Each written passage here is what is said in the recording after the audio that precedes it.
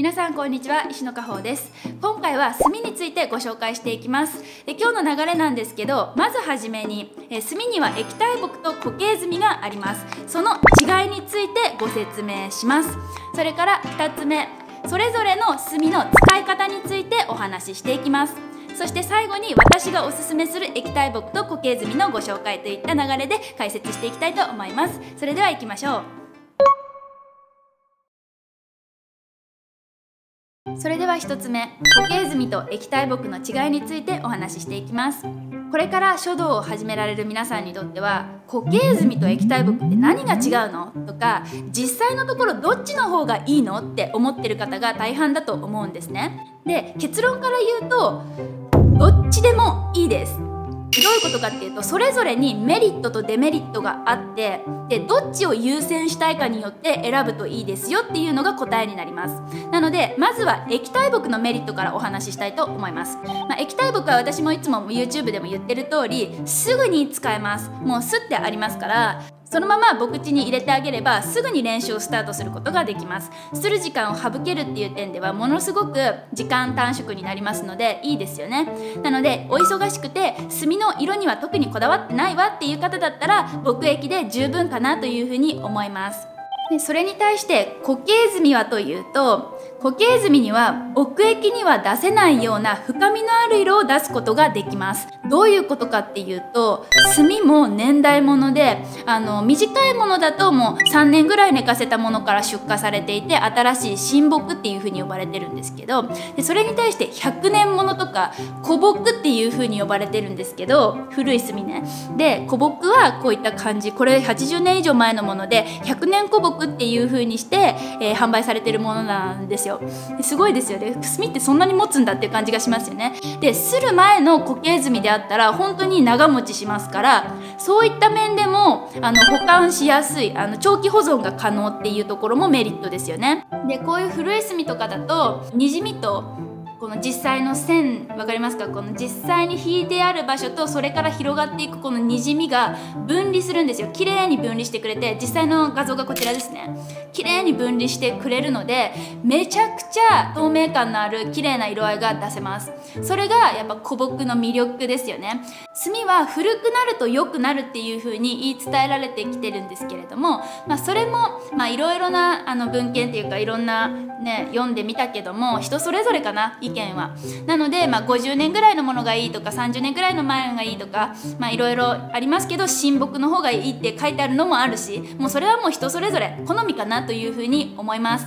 ただ一般的には古くなると良くなるっていうふうに言われているので私も実際にはこの年代物の方がこう綺麗に分離してくれるので味わい深い感じがするなっていう風に個人的な好みですよね。そういう風に思います。ただ新しい炭もすごくすりやすいこう折りやすくてあの水とよく馴染みますしすりやすいっていうのは思いますね。なのでどっちにもメリットがあるしで色も新しいのと古いので同じ炭であっても違いが出てくるので試しに皆さん同じ炭2本買って1個は寝かせておく。もう1個は新しいので使うっていう風にしてみると固形炭の深さ魅力に気づけるかなという風に思います。あとは同じ炭であってもするすずりによっても違いが出ます。色の違いが出るんですよ。あのそれは粒子の大きさによるものだと思っていて粒子が大きく擦れたものと粒子が小さく擦れたものだと人の目で見た時に色が微妙に違って見えたりとかするんですよね。でそれも面白いですしあとはする加減によっても強くすると粒子が大きくなって優しくすると粒子が細かくなりますから見える色が変わってきます。でそういった風に炭の濃淡がちゃんと出てくれるっていうのが固形炭の魅力なので例えばすった炭で1って書くじゃないですか。その時の線の深みと牧液で書いた1では全然違いますから是非余裕のある人はやってみてほしいなっていうふうに思うんですよ。で液体木はあのすぐに使えていいっていう反面色が単調全く同じ色。1を書いた時も筆圧を変えてもスピードを変えても大体同じくらいの墨色で乗りますよね。ただ固形炭っていうのは書くスピードだったりとか力加減によって濃淡がめちゃくちゃはっきり出るので味わい深い作品を書ける気がしますね。まあ、そういった感じで固形炭はたくさんのメリットがあります。それでは2つ目。牧液と固形墨それぞれの使い方について解説していきます。まずは墨液からですね。で墨液にはいろんな濃度の墨液が出てます。各メーカーであの呼び方が違ったりするんですけど私のとこで使ってるのだと普通液とか濃墨液みたいな感じで濃さによって一応分かれています。で私は普通液と濃墨液を使い分けているんですけれどもどのように使い分けるといいかっていうのをご説明したいと思います。もちろんあのこれから書道を始められる方とか初心者の皆さんだったら自分の好きな墨加減っていうのもまだわからない状態だと思いますのである程度書きやすいちょうどいい濃さに調整してある普通液を使うことをおすすめします。でこれならそのままあの墨地に墨を入れてすぐに使うことができますので手間もないですよね。なので始めたての方はこういった普通液を選ぶようにするといいと思います。である程度その書道に慣れてきて自分の好きな墨加減みたいなのが見つけられそうな方は濃墨液も試してみるといいと思います。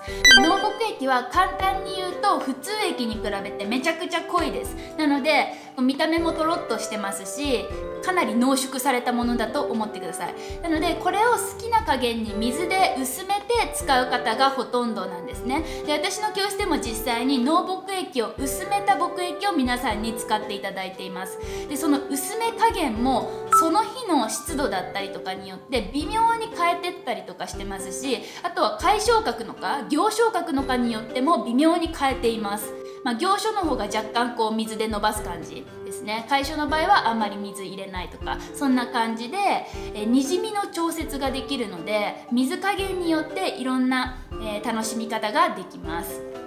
で今回はその濃墨液についてよくいただく質問でどのくらい薄めればいいんですかっていうのをよく聞かれるんですよね。でこれっていうのは結論は決まりはありません。なので皆さんの書きやすい加減自分の好きな濃さになるまで薄めていいですよっていうのが答えになります。とは言っても実際具体的にどのくらい水を足せばいいのかっていうの気になってる方がほとんどかと思いますので今回は実際に私の教室でやっている薄め方をご紹介したいと思います。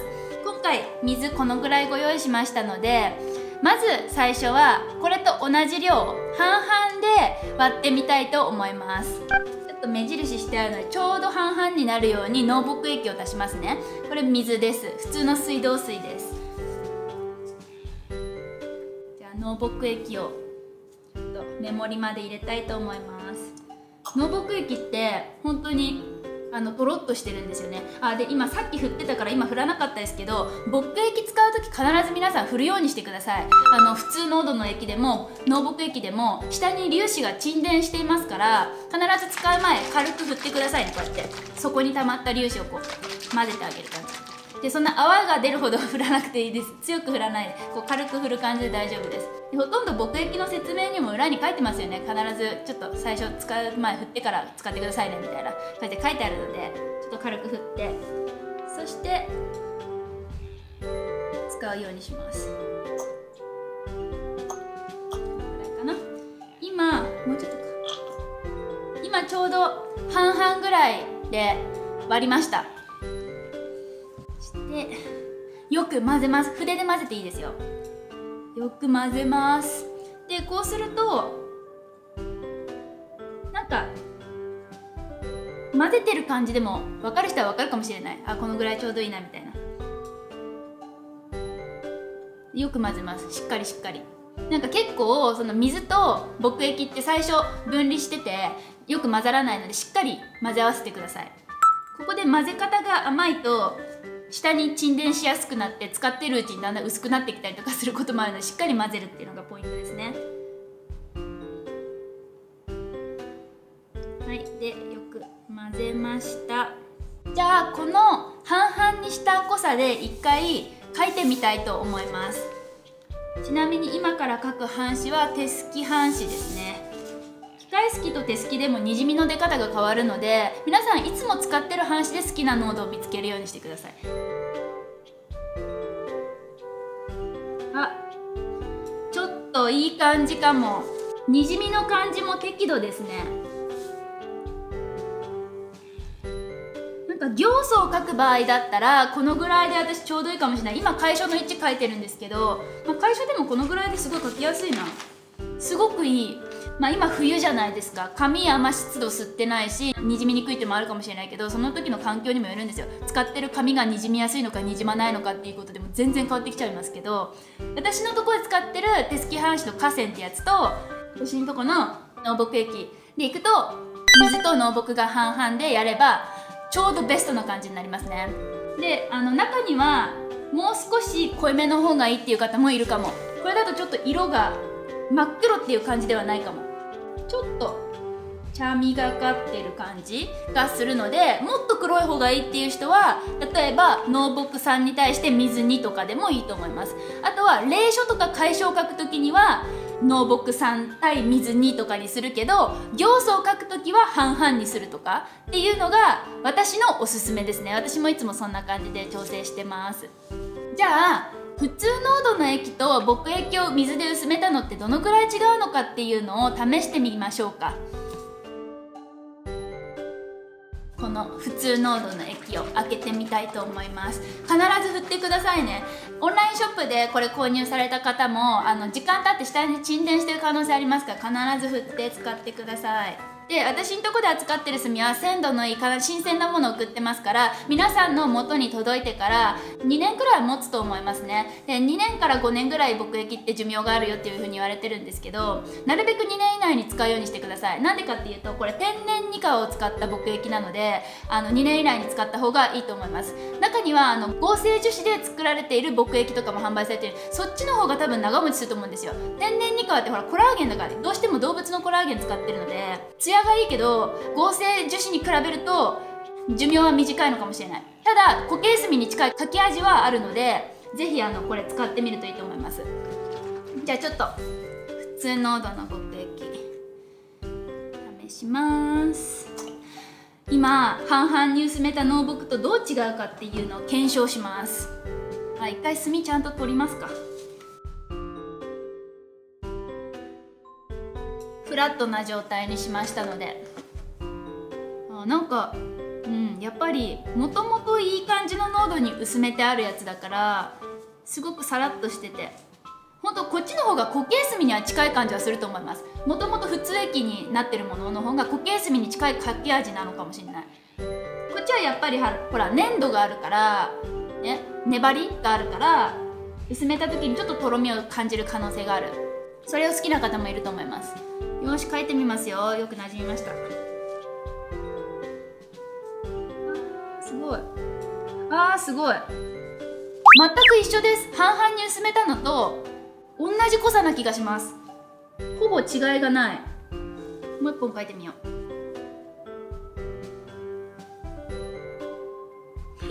本当違わないです。これはちょっといい感じですね。なんかこっちのコスパの良さに気づくみたいな。私もねこんなにちゃんと測ってやったの初めてだから こっちはだから約2倍の濃さまで薄めても平気なのでコスパは最強ですね。ほんと300円ぐらいしか使わないし。もし慣れてきて上級者の方とか農木液を薄めて使うようにすると毎回濃さも自分自身で調整できるようになるし色の違いも楽しめたりあ農木だとこんなにかすれ出るんだとかいろんな気づきも得られますから是非農木液に挑戦してみてください。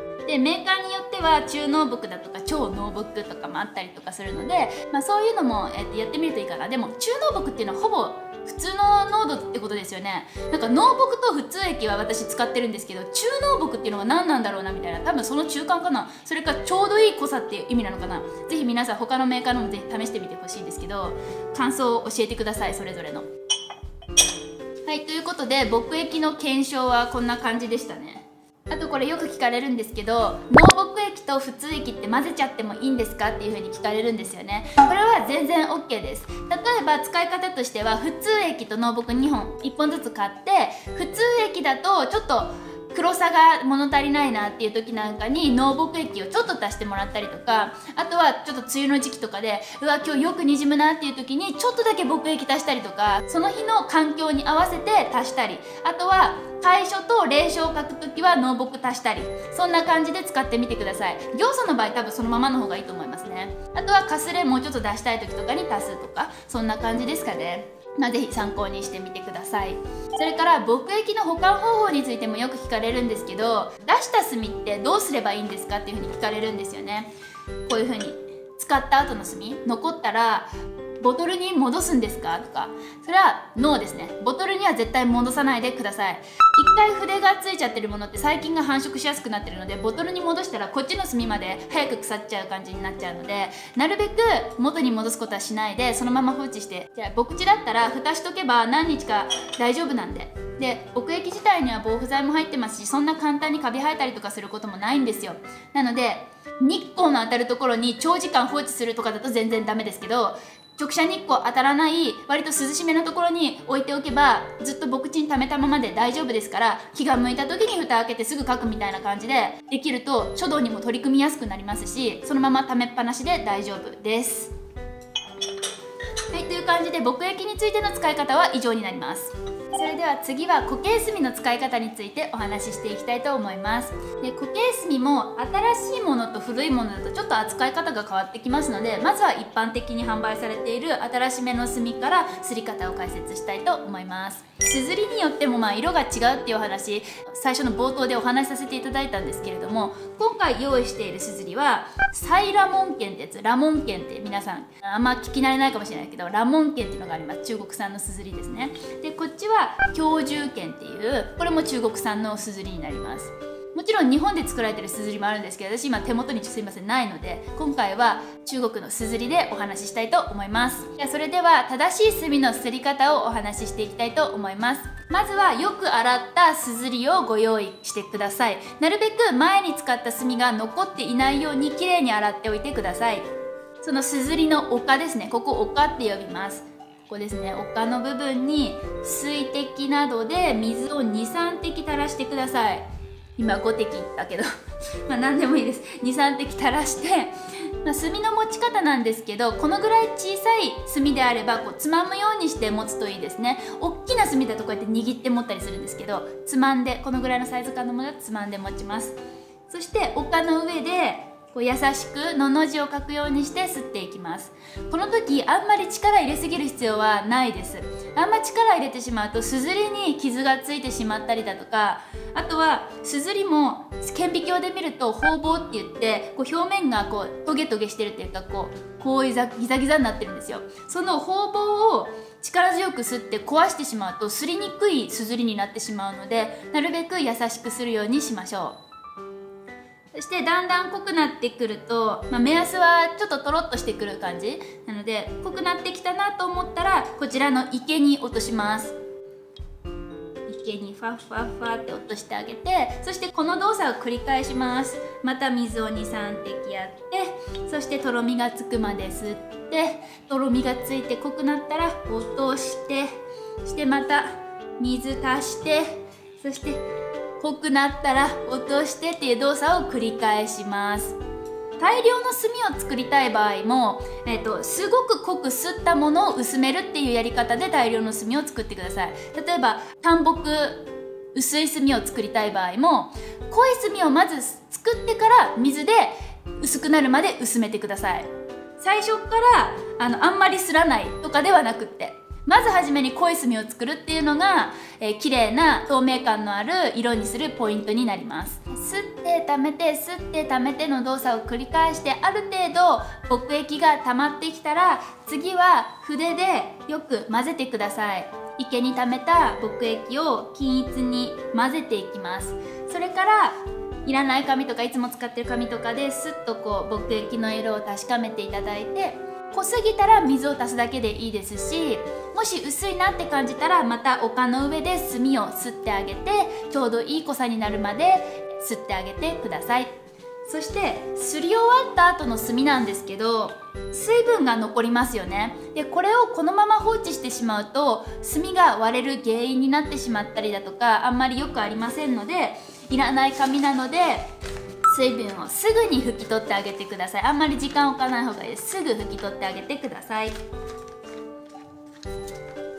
でしまい方なんですけど炭って大体の場合は切り箱に入って販売されているんですね。こんな感じの切り箱に入ってますから柔らかい紙なんかで包んでもらって、ほんと何でもいいです。柔らかい紙で、ね、こう巻いてもらったりとかしてそして木箱にまた戻す。こんな感じで。戻しておいてください。次は古木。これなんかだとほんと100年ものなんですけど国士っていう墨ですね。100年古木です。すごい前のものって水をずっと立たれてる状態なんですよ。なのでもうカラッカラ。水ずっと立たれてる固形炭ってどうなるかっていうと水を拒むようになってくるんですよねだんだん。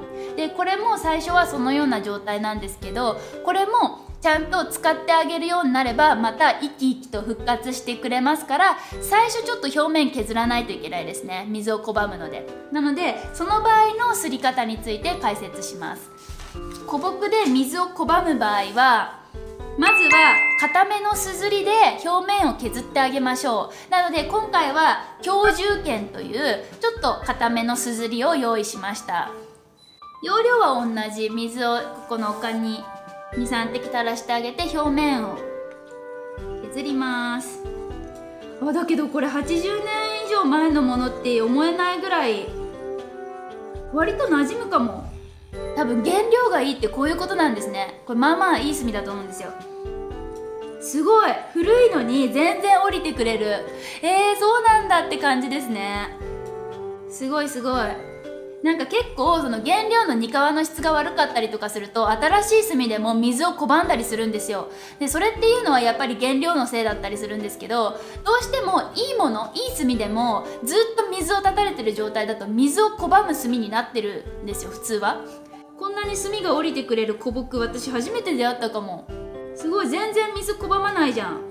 普通水拒みますもっとだから表面削ってあげれば拒まなくなるしそれを毎日こう片手に置いて毎日毎日使ってあげるようになれば水とよく馴染んでくれるようになるんですよ。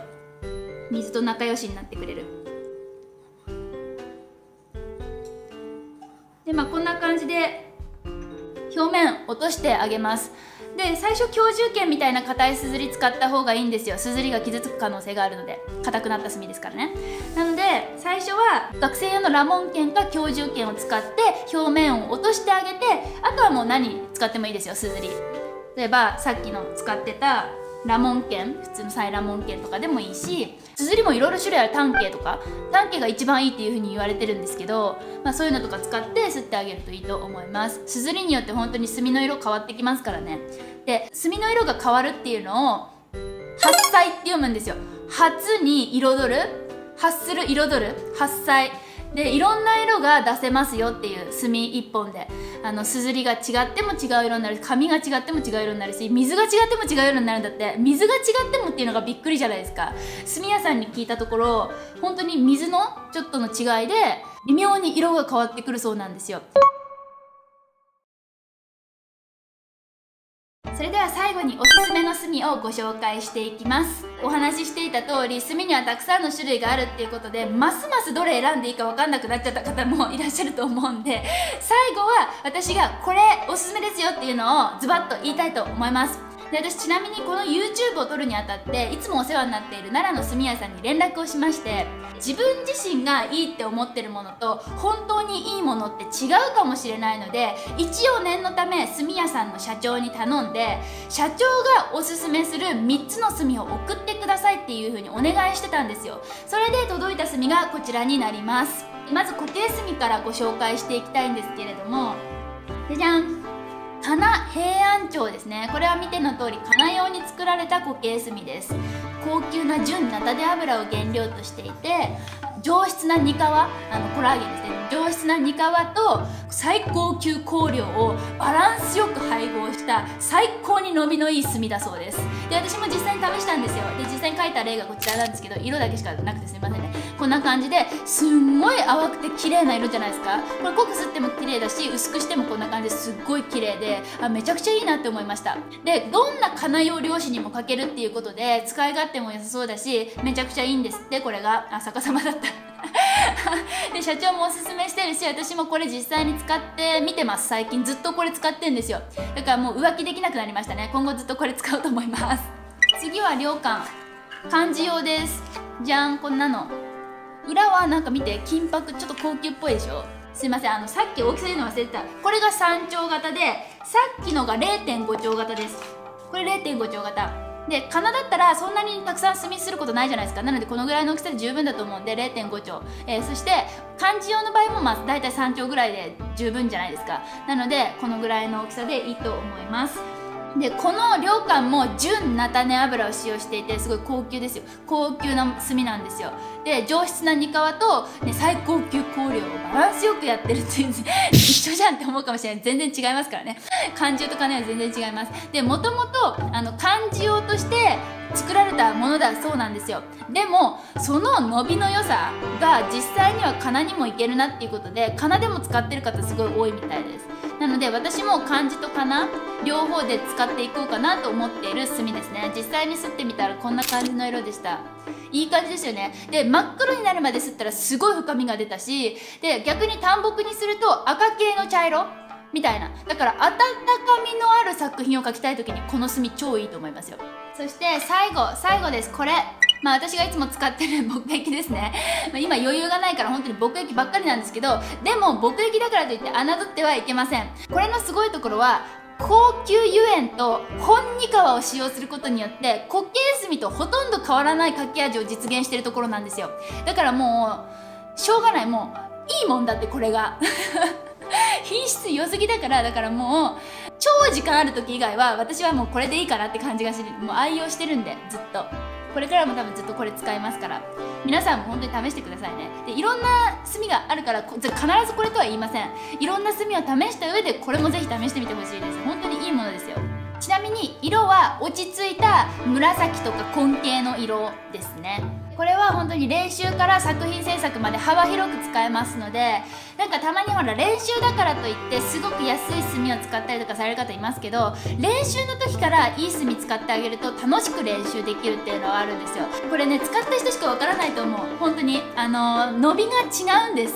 なので練習の時から割といい炭使っておいてそれで作品制作まで発展させた方がきっとそのね伸びも一緒だしスムーズに作品制作に移れると思うんで私はおすすめは練習の時からこういういい炭使うことをおすすめします。で筆にとってもやっぱり合成樹脂系の木液を使うよりはやっぱ天然二皮系の炭を使った方がいいしで逆に天然二皮系の木液を使うよりはやっぱすった炭使った方がいいしっていう風に筆のためにはやっぱりこうね段階があるとは思うんですけど忙しい方はもうこれで十分って感じ。固形炭も本当試してほしいって私は思ってるので自分も試しますね。もちろんいろいろこれからもどんどんどんどん勉強の幅を広げていきたいと思ってますから。皆さんもぜひ今回の動画を参考にしていろいろ手に取ってみてほしいなというふうに思います、えー、木液と固形炭についての解説以上になります。参考になった方はぜひいいねボタンを押してください。それではまた。バイバイ。